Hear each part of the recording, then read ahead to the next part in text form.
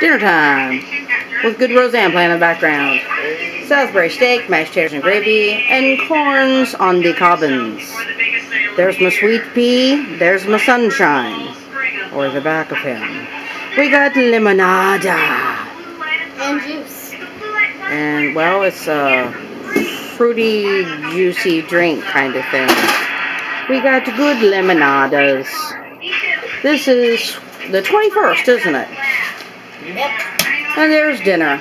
Cook something good, eat it down, and most of all, eat it with people you love. God, you're awesome. God, you're great. Thank you for what's on my plate.